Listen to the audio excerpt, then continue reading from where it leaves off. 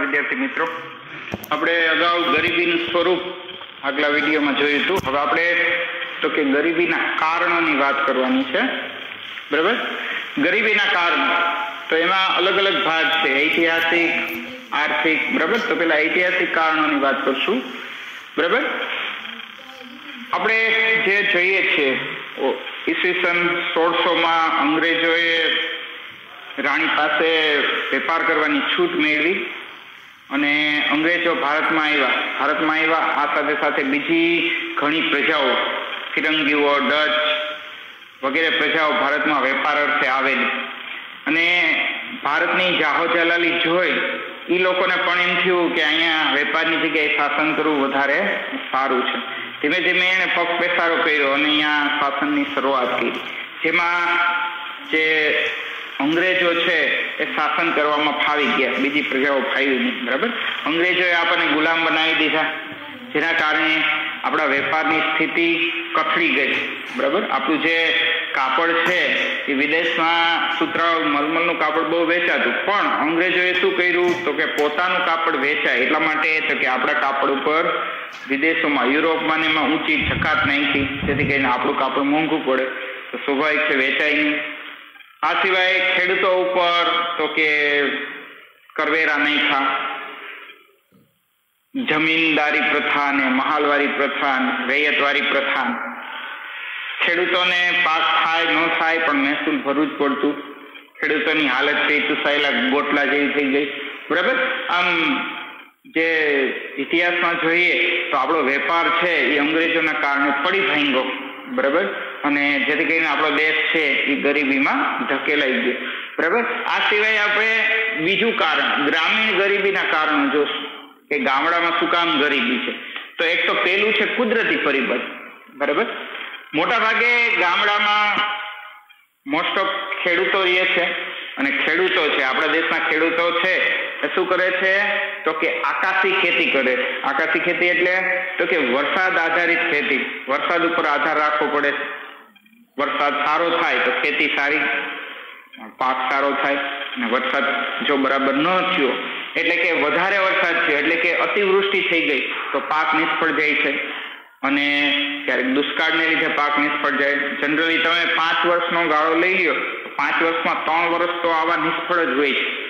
બરાબર? જેથી કરીને ખેડૂતોની હાલત છે એ વધારે કફોડી બનતી ગઈ છે. બરાબર? ત્યાર પછી, તો કે વસ્તી વિષયક પરિબળ. આપણા દેશમાં વસ્તી વધારો છે, વિશ્વની બીજા નંબરની વસ્તી છે, કુટુંબમાં સભ્યો ઝાઝા હોય છે, જેને કારણે ગરીબીનું પ્રમાણ જોવા મળે છે, બરાબર? ખેતીમાં આ વધુ વસ્તીનું ભારણ જોવા મળે છે, જ્યાં બે વ્યક્તિથી કામ ચાલતું હોય તો ખેતીમાં ત્યાં દસ વ્યક્તિ કામ કરતા હોય છે જ્યાં બે, પાંચ વ્યક્તિથી હાલતું હોય, ત્યાં આઠ, દસ માણસો કામ કરતા હોય છે. બરાબર? તો ખેતી ઉપર એનું ભારણ જાજુ છે.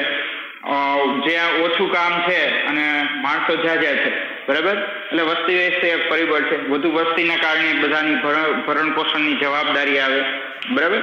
હવે ત્રીજું છે આર્થિક કારણો. હવે આપણે ગરીબીના આર્થિક કારણો જોઈશું, જેમાં પેલું છે શ્રમિક દીઠ નીતિ ઉત્પાદકતા. હમણાં જ આપણે વાત કરી ને.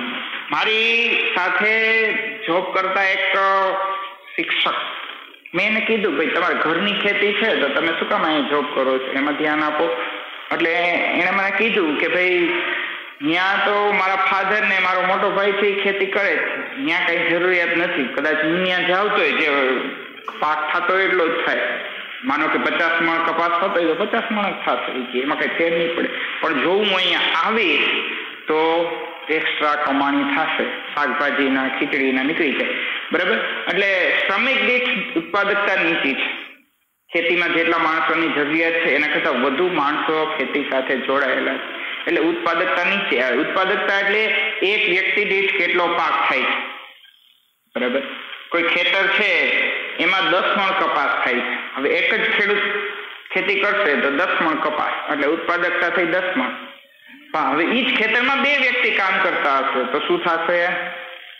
તો દસ ને બે વડે ભાગો તો એક વ્યક્તિ દીઠ ઉત્પાદકતા પાંચ મણ થઈ.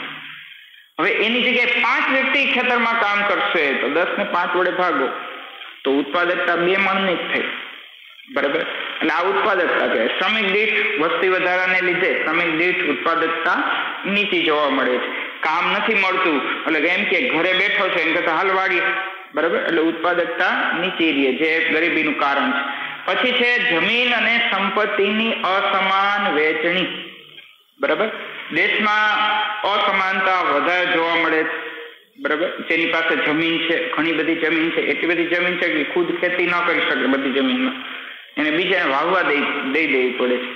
બરાબર? અને જેની પાસે નથી, એની પાસે સાવ નથી. બરાબર? અથવા તો છે તો બહુ ઓછી છે, જેને સીમાંત ખેડૂત કહેવાય. જેની પાસે પાંચ હેક્ટરથી ઓછી જમીન હોય તો એ સીમાંત ખેડૂતમાં આવે. ટૂંકમાં આ એટલી જમીન હોય કે એ એટલી જમીનમાં એના કુટુંબનું ભરણ પોષણ ન કરી શકે. એટલે જમીન અને સંપત્તિમાં અસમાન વહેંચણી સંપત્તિ, જેની પાસે પૈસો છે, રૂપિયા છે લોટોપ છે, ઘણા બધા છે. એને વિચાર કરવો પડે કે પૈસા નાખવા ક્યાં અને જેની પાસે નથી, એની પાસે તો કે ખોરાકના પણ પૈસા નથી. બરાબર? આપણા દેશમાં દોઢ કરોડ લોકો એવા છે જે કચરા ટોપલીમાંથી ખોરાક વીણી વીણીને ખાય છે. એટલી ગરીબી બરાબર? તો સંપત્તિ અને જમીનમાં અસમાન વહેંચણી છે. બરાબર? ત્રીજું છે નાના અને ગૃહ ઉદ્યોગોનો અલ્પ વિકાસ.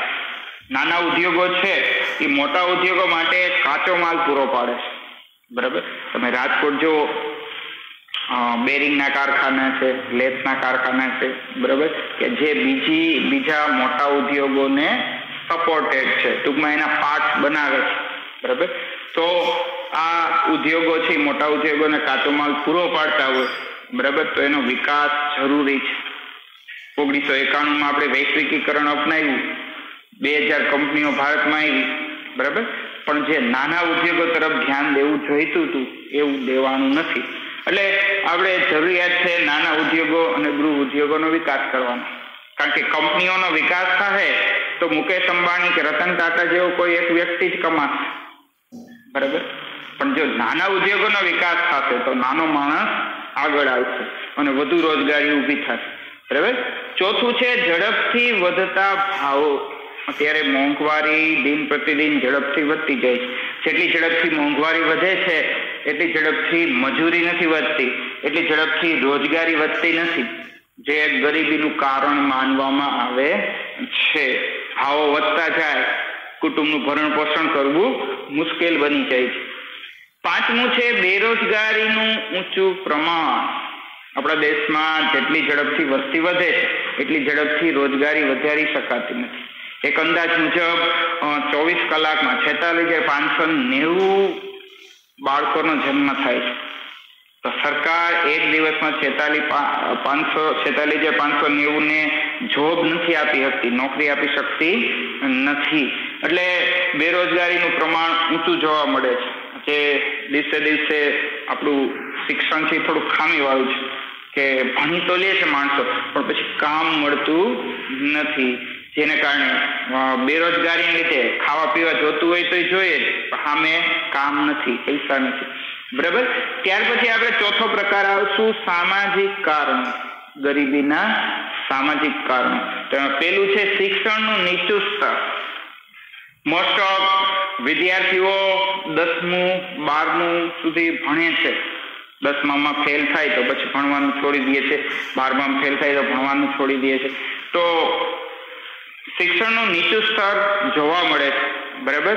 અને મોસ્ટ ઓફ જે ગરીબ માણસો છે, એ પાંચ સાત ધોરણ સુધી તો બાળકોને બહુ માન ભણાવે છે. બરાબર? એ શેના માટે? તો કે ઘઉં ચોખા આવતા હોય. બરાબર. શિષ્યવૃત્તિ આવતી હોય એટલા માટે. બાકી એ નથી ભણાવતા.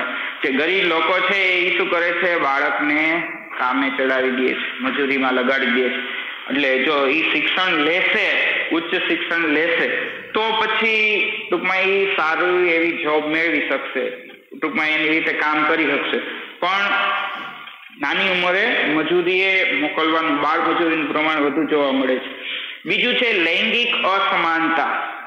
હજી પણ આપણા સમાજમાં સ્ત્રી પુરુષને એક માનવામાં નથી આવતા. જેટલું ઘરમાં માન પુરુષોનું હોય છે, એટલું સ્ત્રીઓનું હોતું નથી. જેટલી સ્વતંત્રતા પુરુષોને છે, એટલી સ્ત્રીઓને નથી. બરાબર? આજની તારીખે પણ સમાજમાં આવો ભેદભાવ જોવા મળે છે. આપણે માત્ર આધુનિક થયા છીએ. કુરિવાજ ગયા નથી. જૂના સમયમાં દીકરીને દૂધ પીતી કરતા દીકરીને મારી નાખતા. બરાબર? અટાણે એ જ સભ્ય સમાજ શું કરે છે? તો કે સોનોગ્રાફી દ્વારા જાતિ પરીક્ષણ કરે અને એમ કહે કે ભાઈ ગર્ભમાં દીકરી છે, તો દીકરીને મારી નાખો. ટૂંકમાં રિવાજ છે લેટેસ્ટ કુરિવાજ લેટેસ્ટ થયો છે. બરાબર? બાકી કાંઈ નથી. બરાબર? એટલે લૈંગિક અસમાનતા હજી પણ જોવા મળે છે. આજની તારીખે દીકરી કરતા દીકરાને વધુ મહત્વ આપવામાં આવે છે. પણ આવું ન હોવું છે. ઘણી બધી સ્ત્રીઓ છે, એ બુદ્ધિશાળીઓ છે. છતાં એ ઘરમાં રસોઈ બનાવતી હોય, કપડાં ધોતી હશે. કદાચ બહાર જો કામ કરે જોબ કરે કદાચ કંપની ચલાવી શકે એટલી એનામાં તાકાત હોય છે. એ મેનેજમેન્ટ કરી શકે એટલી તાકાત હોય છે. પણ શું થાય છે?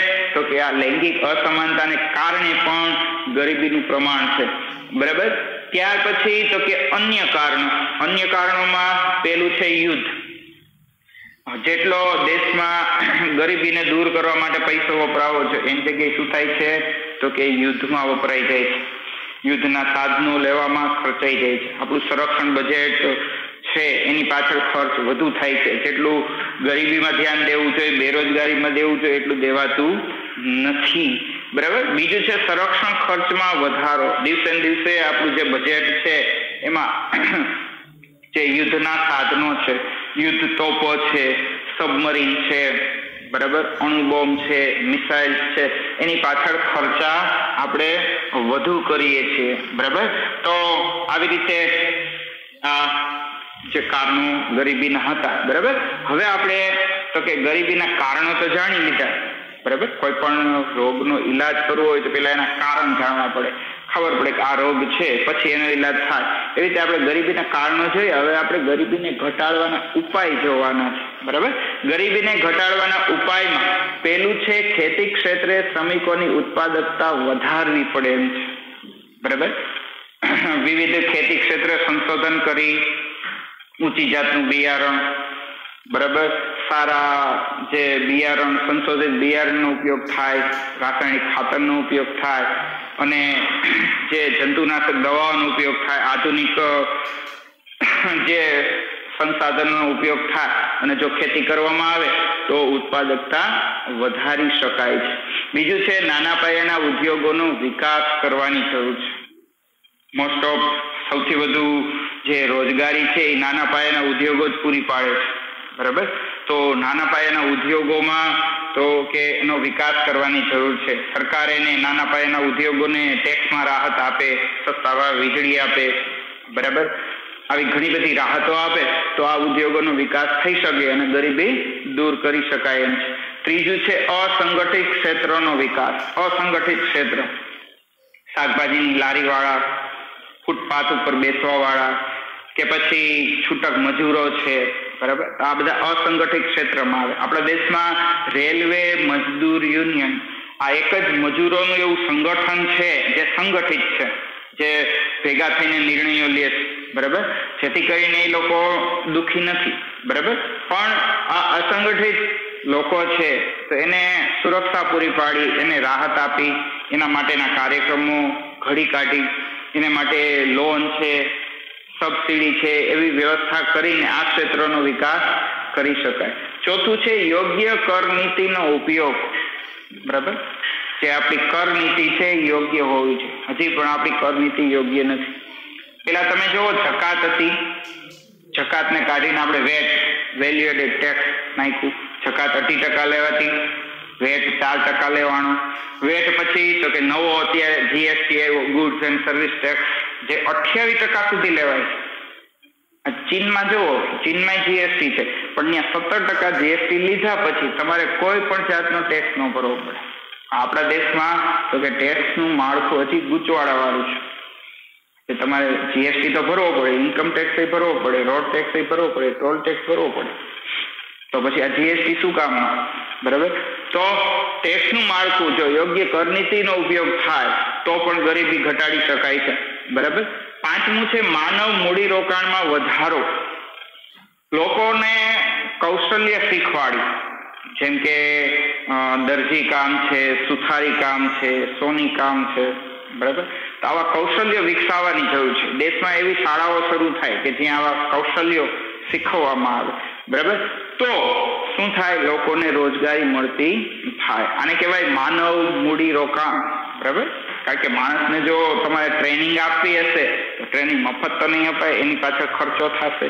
તો માણસને ટ્રેનિંગ આપવા પાછળ જે ખર્ચો થાય, એને શું કહેવાય? માનવ મૂડીરોકાણ બરાબર? છઠ્ઠું છે વ્યાજબી કિંમતે વસ્તુઓ અને સેવાઓ. ગરીબોને સસ્તા ભાવે વ્યાજબી કિંમતે વસ્તુઓ અને સેવાઓ મળવી છે. જેથી કરીને એને, એનો પૈસો છે એ વધુ આવી વસ્તુઓમાં વપરાય. અત્યારે તમે જો પ્રધાનમંત્રી જન ઔષધિ કેન્દ્ર શરૂ થયા છે, કે જ્યાં સસ્તા ભાવે દવાઓ મળે છે. બરાબર? આ જ રીતે તો કે ગરીબોને બીજી વસ્તુઓ પણ સસ્તા ભાવે મળવી જોઈએ, જેથી કરીને એની એ વધારે ગરીબ ન બને. બરાબર? ત્યાર પછી તો કે સાતમું છે રોજગાર લક્ષી કાર્યક્રમો. બરાબર? એવા કાર્યક્રમો કે જે ગરીબીને ઘટાડી શકે. માણસને જો રોજગારી મળશે, પૈસો કમાશે તો ગરીબીમાં ઘટાડો થશે. તો આવા જ રોજગાર કાર્યક્રમો જોઈ એમાં પેલું છે સંકલિત ગ્રામ વિકાસ કાર્યક્રમ, જેને આઈઆરડીપી નામ આપ્યું છે. બરાબર? આઈઆરડીપી અને સ્વર્ણ જયંતિ ગ્રામ સ્વરોજગાર યોજના એસજીએસવાય શરૂ ક્યારે થઈ? બે ઓક્ટોબર ઓગણીસો એસી માં કોના માટે શરૂ થઈ? તો કે સીમાંત ખેડૂતો. અગાઉ આપણે વાત કરી, પાંચ હેક્ટરથી ઓછી જમીન હોય સીમાંત ખેડૂત કહેવાય. પછી ખેત મજૂર, જેની પાસે જમીન નથી, પણ ખેતી આવડે છે. બરાબર? આવા લોકો માટે આ યોજના શરૂ થઈ. અને આ યોજનામાં તો કે બીજી છ યોજના છે, બીજી છ યોજના છે, એનો સમાવેશ કરવામાં આવ્યો. શેમાં? આઈઆરડીપીમાં, સંકલિત ગ્રામ વિકાસ કાર્યક્રમમાં. કઈ કઈ યોજના છે? આ યોજનામાં ભેળવવામાં આવી તો કે પહેલી એપ્રિલ ઓગણીસો નવ્વાણું થી આ બધી યોજનાઓ આઈઆરડીપી માં ભેળવી દીધી છે. કઈ કઈ તો પેલું છે આઈઆરડીપી, એટલે કે સંકલિત ગ્રામ વિકાસ યોજના. બરાબર? બીજું છે ટ્રાઇઝેન એટલે કે સ્વરોજગાર માટે ગ્રામીણ યુવાઓને તાલીમ આપવાની જે યોજના હતી, આમાં ભેળવી દીધી છે. ત્રીજું છે દ્વારકા. દ્વારકા એટલે ગ્રામીણ વિસ્તારોમાં સ્ત્રીઓ અને બાળકોનો વિકાસ કાર્યક્રમ હતો. સ્ત્રીઓને કામ આપવામાં આવે. બરાબર? એટલા માટે. તો એને પણ આમાં ભેળવી દીધું છે. ચોથું છે એમ ડબલ્યુ એટલે કે દસ લાખ કુવાઓની યોજના. ગામડામાં ખેડૂતો ને કુવો ગાળવા માટે સબસિડી મળે. એ માટેની આ યોજના હતી. બરાબર? પાંચમું છે સિટ્રા. સિટ્રા એટલે ગ્રામીણ કારીગરો માટે ટૂલ કિટ દરજી હોય તો એને સીવવાનો સંચો છે, સુથાર હોય તો એને કરવત, રંધો એવા એના સાધનો, બરાબર? તો જે તે કારીગરને એના પોતાના સાધનો, સરકાર છે એ ખરીદી આપે, જેથી કરીને એ પોતાની રોજગારી રળી શકે, એટલા માટેની યોજના. છઠ્ઠું છે ગંગા કલ્યાણ યોજના, જે પાણી માટેની યોજના હતી. ગામડામાં જે પાણીની અછત ઊભી થાય છે, આ અછત ઊભી ન થાય. તો આ છ યોજના છે એ શું કરવામાં આવ્યું? સંકલિત ગ્રામ વિકાસ યોજનામાં ભેળવી દેવામાં આવ્યું બરાબર? ત્યારબાદ તો કે વેતન રોજગારી કાર્યક્રમ. બરાબર? વેતન રોજગારી કાર્યક્રમમાં તો કે ખેતીની મોસમ સિવાય કામ મળી રહી એટલે વેતન રોજગારી કાર્યક્રમ શરૂ કરવામાં આવ્યા છે. બરાબર? આ સિવાય તો કે આ યોજના પૂર, દુષ્કાળ, અછત, કુદરતી આફતો વખતે આ વેતન રોજગારી કાર્યક્રમમાં કામ મળતું. ક્યારેક ક્યારે કામ મળતું? ખેતી સિવાયની મોસમમાં જે બેકાર, મોસમી બેકાર કહેવાય. એને અને બીજું તો કે જ્યારે જ્યારે પૂર, દુષ્કાળ, અછત, કુદરતી આફત આવે ત્યારે આ કાર્યક્રમ શરૂ કરવામાં આવતો. બરાબર? આ કાર્યક્રમમાં તો કે બીજી બે યોજનાઓ છે એને ઉમેરી દેવામાં આવી છે. એક છે જવાહર રોજગાર યોજના અને બીજી છે રોજગાર બાહેન્દ્રી યોજના. બે યોજનાઓનો વેતન રોજગારી કાર્યક્રમમાં સમાવેશ થાય છે. બરાબર? ત્યાર પછી તો કે પ્રધાનમંત્રી રોજગાર યોજના. બરાબર? પ્રધાનમંત્રી રોજગાર યોજના કોના માટે છે? તો કે શિક્ષિત બેરોજગાર માટે. બરાબર? ઓગણીસો નેવું થી આ યોજના શરૂ છે. પણ એની પહેલા તો કે આ યોજનામાં તો કે રાષ્ટ્રીય રોજગાર બાહેન્દ્રી કાર્યક્રમની વાત કરશું. બરાબર? ચોથું છે રાષ્ટ્રીય રોજગાર બાહેંધરી કાર્યક્રમ. બરાબર? જે બે હજાર પાંચમાં શરૂ થઈ. જેને નરેગા ટૂંકમાં શું કહેવામાં આવતું? નરેગા. બરાબર? જેનું કામ શું હતું? તો કે સાર્વજનિક નિર્માણ કાર્યક્રમ. નગરપાલિકા કે ગ્રામ પંચાયત છે, એ ગામડામાં ટાઉન હોલ બનાવવાનું હોય, દુકાનો બનાવવાની હોય, બગીચો બનાવવાનો હોય, ટૂંકમાં સાર્વજનિક જે બાંધકામ કરવાનું હોય. એમાં કામ આપવામાં આવતું. જે બેરોજગાર લોકો એને. બરાબર? પણ બે હજાર નવની સાલમાં આનું નામ બદલાવીને મનરેગા યોજના કરવામાં આવ્યું છે. આગળ મહાત્મા ગાંધી જોડી દેવામાં આવ્યું નરેગા યોજનામાંથી મનરેગા યોજના નામ આપવામાં આવ્યું છે. બરાબર? શિક્ષિત બેરોજગાર કે અન્ય બેરોજગારો છે. બરાબર? પંદર દિવસ સુધી કામ ન મળે તો ગ્રામ પંચાયત કે નગરપાલિકામાં નોંધણી કરાવી શકે. ત્યાંથી એક સ્માર્ટ કાર્ડ કાઢી દેવામાં આવે અને પછી જો કામ ન મળે તો પંદર કિલોમીટરના એરિયામાં એને કામ આપવામાં આવે છે. જો પંદર કિલોમીટરથી વધારેનો એરિયો બહાર જાય તો જે ભાડું પણ આપવામાં આવે છે. ત્યાર પછી આઠમું છે આવાસ યોજના. આવાસ યોજના. ઓગણીસો પિંચાસી છ્યાસીમાં અનુસૂચિત જાતિ અને જનજાતિના લોકો માટે આ યોજનાનું નામ ત્યારે હતું ઇન્દિરા આવાસ યોજના. બરાબર? જે પિંચાસી છ્યાસી માં શરૂ થઈ હતી. કોના માટે? અનુસૂચિત જાતિ અને જનજાતિના લોકો માટે. એને આવાસ પૂરું પાડવા, મકાન પૂરું પાડવા માટે આ યોજના શરૂ થઈ. ત્યારે નામ હતું ઇન્દિરા આવાસ યોજના. પછી તો કે બે હજાર તેર ચૌદમાં આ યોજનાનું નામ બદલાવવામાં આવ્યું. રાજીવ આવાસ યોજના નામ આપવામાં આવેલું છે. કેવું? રાજીવ આવાસ યોજના. બરાબર? પછી, તો કે શહેરી ગરીબોને અને અન્ય ગરીબોને. ટૂંકમાં જે લોકોની આવક ઓછી છે, એવા લોકો માટે બે હજાર પંદરમાં તો કે આ યોજનાનું નામ બદલાવીને પ્રધાનમંત્રી આવાસ યોજના નામ આપવામાં આવ્યું. પીએમએવાય જે પચીસ જૂન બે હજાર પંદરથી શરૂ કરવામાં આવી. જેમાં ઉચ્ચ વર્ગને બાદ કરતા બધા લોકો માટે આ યોજના શરૂ કરવામાં આવેલી. જેમાં બે પોઈન્ટ સડસઠ લાખ રૂપિયા જેટલી સબસિડી આપવામાં આવે છે. બરાબર? ત્યાર પછી નવમું છે સામાજિક સલામતીની યોજના. બરાબર? નવ મે બે હજાર પંદરથી આ સામાજિક સલામતીની યોજનામાં બીજી કઈ યોજના આવે છે? તો કે અટલ પેન્શન યોજના. બરાબર? જે એપીવાય તરીકે ઓળખાય છે. અઢારથી સિત્તેર વર્ષની ઉંમરના લોકો આનો લાભ લઈ શકે છે. દર મહિને બાર રૂપિયા પ્રીમિયમ આવે. બરાબર? એ રીતે. આખા વર્ષમાં જો કોઈ અકસ્માત થાય, તો વીમા ધારકને બે લાખનો અકસ્માત વીમો મળે છે. આ સિવાય વર્ષે ત્રણસો ને ત્રીસ રૂપિયા નો બે લાખનો જીવન વીમો પણ ઉતારી શકાય છે. તેમાં પણ અઢારથી સિત્તેર વર્ષના લોકો આનો લાભ લઈ શકે છે. એ સિવાય તો કે ખેડૂતો માટે પ્રધાનમંત્રી ફસલ બીમા યોજના શરૂ કરવામાં આવેલી છે. ખેડૂતો પોતાના પાકનો ઓનલાઈન વીમો લઈ શકે છે અને જો પાક ન થાય તો વીમાની રકમ એને મળવા પાત્ર છે.